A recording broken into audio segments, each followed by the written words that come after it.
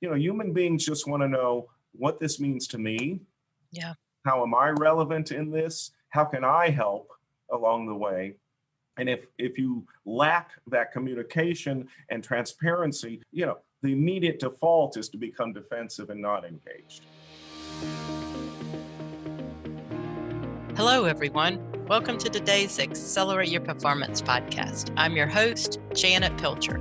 Thanks for having a desire to be your best at work and help your organization achieve success. This podcast is all about actions we can take to improve workplace culture and achieve results, and they're all aligned to our nine principles for organizational excellence. For the past month, I've been invited presidents and chancellors of higher education institutions as my guests on the show to highlight the incredible work happening to transform communities and the future of education and higher education. Today, we'll hear from one more of our higher education presidents, Dr. Kyle Marrero, who's leading Georgia Southern University. Kyle became Georgia Southern University's 14th president in April of 2019 as president, he leads the Eagle Nation with almost 27,000 students, 3,000 faculty and staff on three campuses. In his short tenure, Georgia Southern has established a new culture of high performance and evidence based leadership, data informed decision making, communication and transparency, and an unwavering focus on a new strategic plan and assessment methodology aligned to five main pillars student success, teaching and research, inclusive excellence, operational efficiency, effectiveness, and sustainability, and community engagement. Before arriving at Georgia Southern University, Dr. Marrero was president of the University of West Georgia, where the institution achieved record enrollment, graduation rates, degrees conferred, fundraising, and annual economic impact. The institution won the 2015 AASU National Award for Innovation and Excellence the University System of Georgia selected UWG as the institution and president of the year, and Dr. Marrero has been acknowledged by Georgia Trend as one of the 100 most influential Georgians. Prior to his appointment at West Georgia, he held positions as vice president for university advancement, at the University of West Florida, director of the School of Fine Arts and chair of the music department at University of West Florida, and associate professor of voice at Louisiana State University, and artistic director of the Pensacola Opera. I've known Kyle for quite some time and I'm so glad that he's with us today. Now, in less than two weeks, President Marrero will deliver one of our keynote presentations at our virtual conference, Destination High Performance Higher Education, on May 17th and 18th. We hope you'll consider joining us at this higher education conference where leaders from around the country will share their success and bring hope to the future of higher education. You can learn more by visiting studereducation.com/events. Please feel free to register and join us at this event where we highlight some unbelievable accomplishments. So now let's hear from President Marrero's take on transformation in higher education, employee engagement, and what a successful leader will look like in the future. Dr. Marrero, welcome to our show today. It's so glad to, to have you with us. Well, thanks. Uh, uh, happy to be here and and uh, happy to spend some time with you this morning, Janet. Sounds good. So let's jump in. You know, you and I have had a chance to to have connections over the past years and you have some wonderful past experiences and just mm. curious as we start today what what are what about the past experiences do you think prepared you for the presidency now at Georgia Southern University well I don't know how far you want me to go back but uh, I'm an unlikely uh, administrator in higher education, uh, particularly at the presidential level. I'm a musician. Uh, my entire life was uh, either as a performing artist, fortunate to tour the world, uh, much of the United States, and then uh, ran arts organizations. And so, doing a little bit of everything, you know, our, our urgency was making payroll every Friday and yeah. every way to write grants to you name it. And then really moving into academia as a professor, but then becoming becoming administrator because of my ability to raise funds, uh, to organize, to do administrative tasks.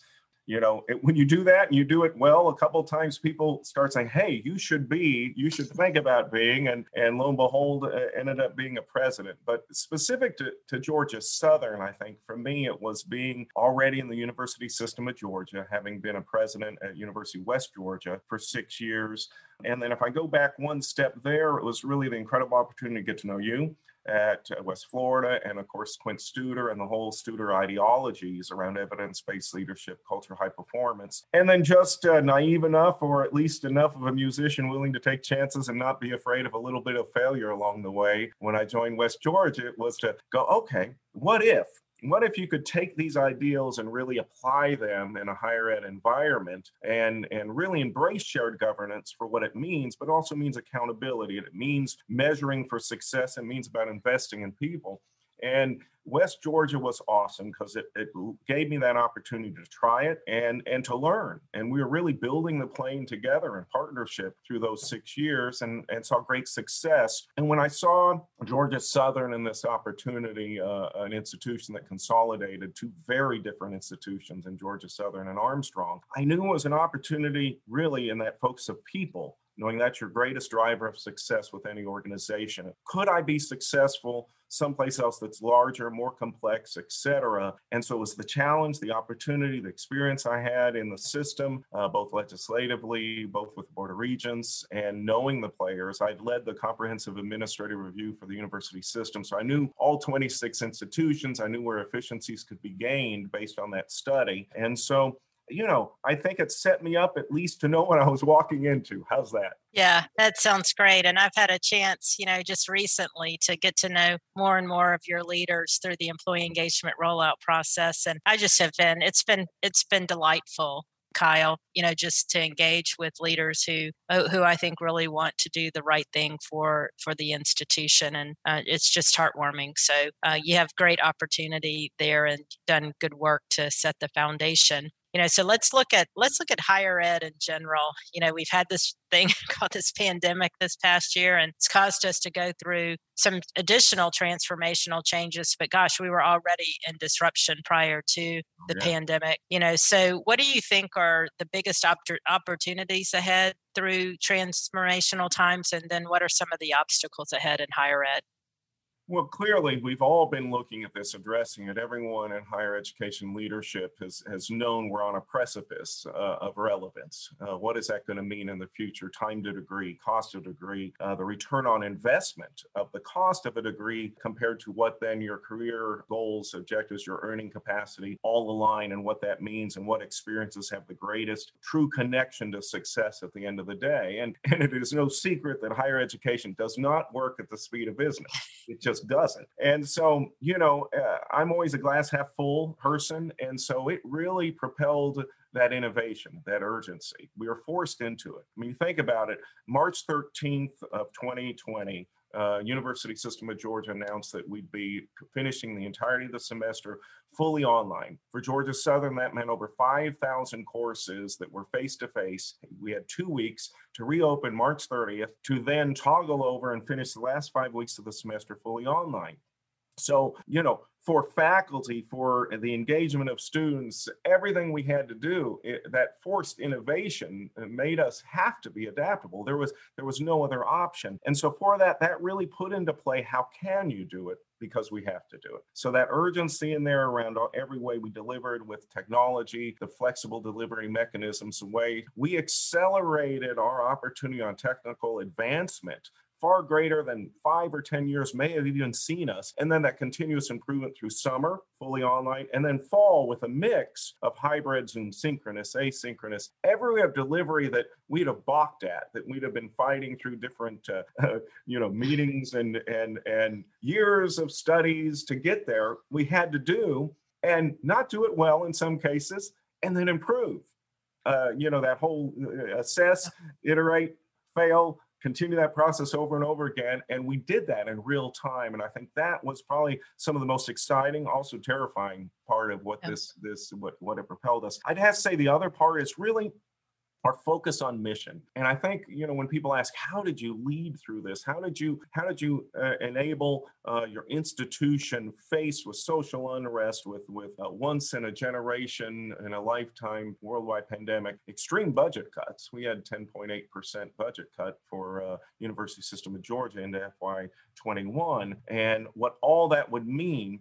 And it really made us step back particularly as leaders is so what is most important? What is mission and what are our values and then to lead through those. So it was very clear then, okay, students have to be able to be successful. We have to keep them retaining, progressing, and moving through their curriculum in the most successful way to achieve those learning outcomes. Two, we have to create an environment that follows all the COVID protocols and guidelines for the safest way in which we could have some face-to-face mix and some students opportunities for engagement, et cetera, all with COVID restrictions. And three, we had to be financially viable at the end of the day to make it through.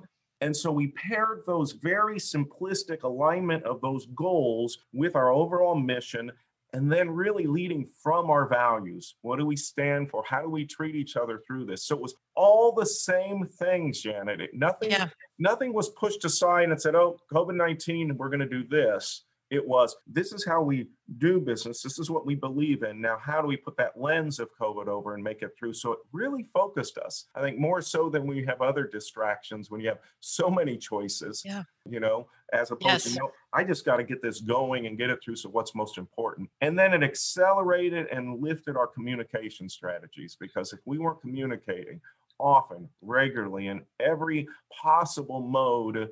Uh, you know, I'll average six to eight hours of Zoom meetings a, a day, but I tell you, for three campus environment, 200 miles spread out, you know, 3,300 employees and 27,000 students, it suddenly became these efficient ways to keep everybody in touch, in line, taking input along this way. So hyper communication was uplifted through that. Then the last thing I'll just say, because it's been interesting, is with ACT, SAT not being readily available, the University System of Georgia elected to go GPA only admission criteria for the mm-hmm. fall and spring, and we'll continue it one more year. So it really gives us a chance to look at that value proposition of what do test scores really tell us about a student's ability to succeed.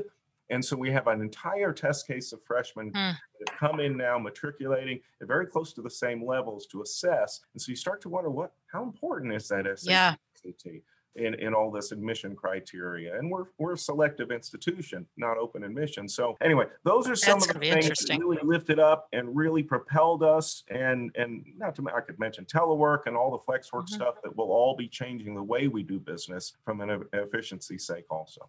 Yeah, I think that is going to be interesting, Kyle. Is, you know, we've had to change the entrance looking at how we review student it being admitted you know we'll learn from that. We probably had that's what we will continue to learn from. That is interesting. And you know here um, uh, you just uh, administered and now rolling out the employee engagement survey results. And it was very clear what you were talking about with alignment to values and mission and really communicating that well, that, that it was clear you did that well. You know, that was one of the highest scored categories on the employee engagement survey. So, you know, very clear that you had that outcome. And I know employee engagement and transparent communication both are extremely important to you. Um, so, can you speak a little bit about why these two things are are so important to you and as a leader? Well, look, I, you know, I think when it gets down to it, with every relationship you have in your life, whether it's your partner, your spouse, your friends, your family, your coworkers, or as a quote leader, it all gets down to trust.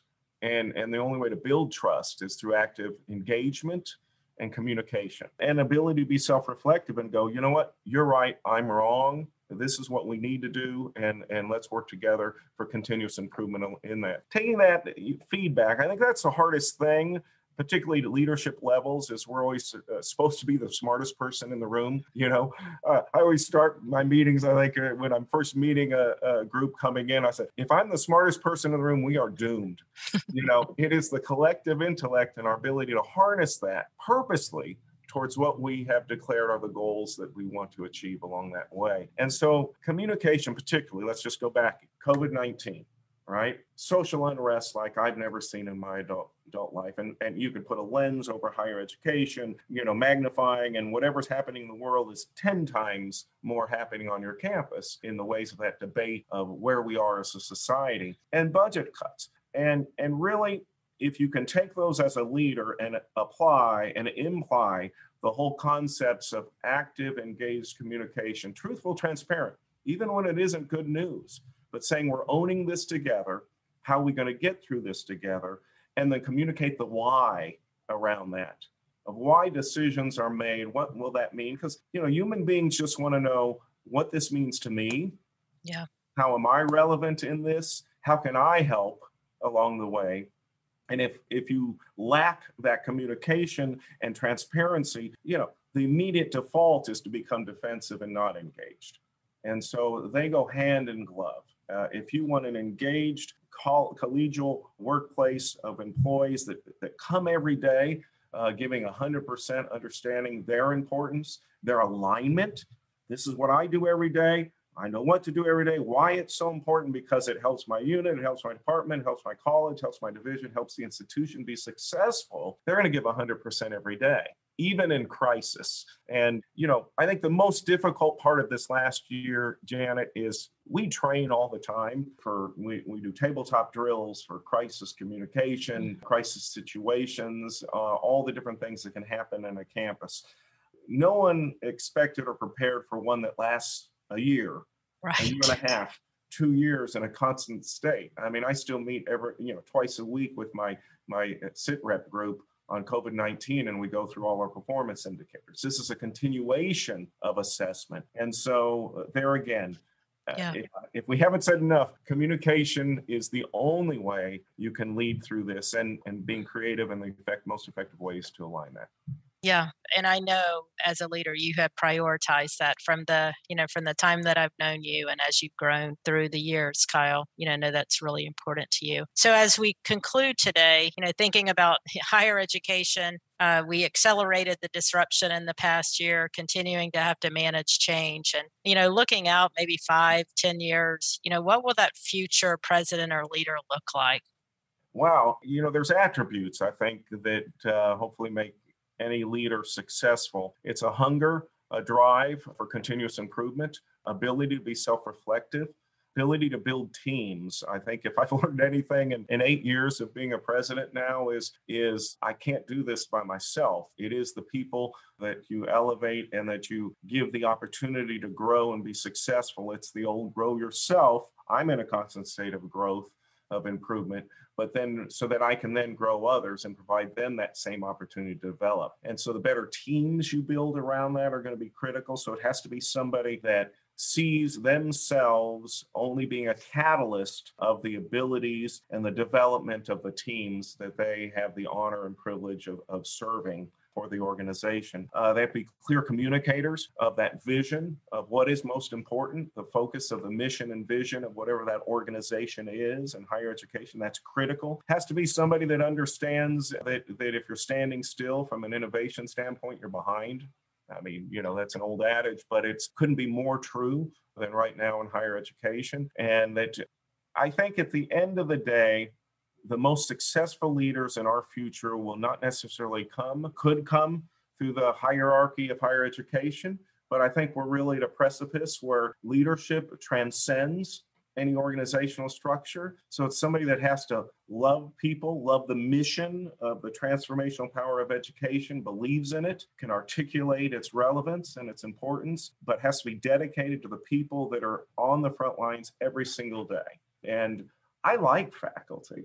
I mean, I'm a musician. I'm used to contrary every part of every rehearsal of everything you do. And then, you know, because I know it'll be better because of that.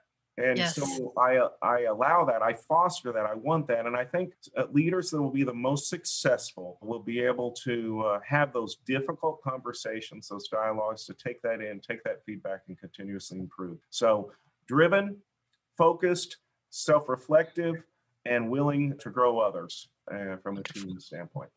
What a great list to help uh, those who want to be leaders and presidents and executive leaders or any leader um, at any organization. But higher ed is really going to need leaders like you with those characteristics, Kyle. I am a work in progress. we all are, Kyle. I'm always every day I wake up, I think about something I need to do for myself. At some point, it'll just be over, I guess. Yeah. you know, no, that, I, but it's you know what? That's the fun of it. I mean, that's the the fun of it is really continuing to to learn and grow. And I have the great opportunity to work with leaders like you that help me grow as well. So it's you know it's been a great partnership. And just wanted to say to you, I've had more of an opportunity to connect with you over the last couple of months as we've worked on the employee engagement survey together, and I've just I've enjoyed it so much. You know, I've enjoyed our connection. So thank you, and thank you for being with us today. Thank you, friend. Have a great day. As you can see, Dr. Marrero has a wealth of knowledge and great experience in executive leadership and working with his team to lead now Georgia Th- Southern University to achieve excellence in all that they do. Uh, he has a high commitment to continuously improving aspects of the organization to achieve excellence and to become a high performing model institution in the country. Dr. Marrero is going to be our closing keynote at our higher education conference. His experience and his ability to summarize and wrap his arms around how we apply an evidence based leadership framework and an improvement process to achieve results will be critical to the summary of our conference and putting the pieces and parts together and connecting the dots for us. Please join us at our higher education conference and hearing more from Dr. Marrero and Georgia Southern University. To, to learn more about our upcoming virtual events, especially our higher education conference, just reach out and connect to studereducation.com slash events. As always, thank you for tuning in to Accelerate Your Performance. Please share the podcast. If you're looking for more resources related to today's episode, head over to studereducation.com slash podcast. I look forward to connecting with you next time as we continue to focus on the nine principles for organizational excellence so that we can be our best at work. Have a great week.